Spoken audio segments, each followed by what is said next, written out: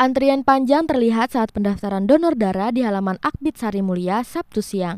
Hingga pukul 13 siang, ratusan pendonor masih memadati lokasi pengambilan darah.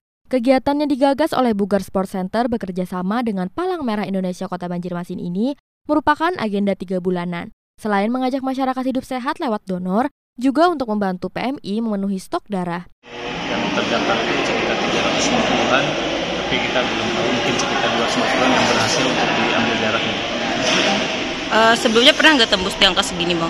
Kita biasanya di angka 250, mungkin ini lebih dari 250 untuk di bulan Januari. Kalau di bulan-bulan itu biasanya mungkin sekitar 175, karena hari ini ada double flash, jadi lebih banyak. Sedikitnya 288 kantong darah terhimpun lewat kegiatan ini. Ini menjadi donor darah pertama dengan jumlah kantong melebihi 250.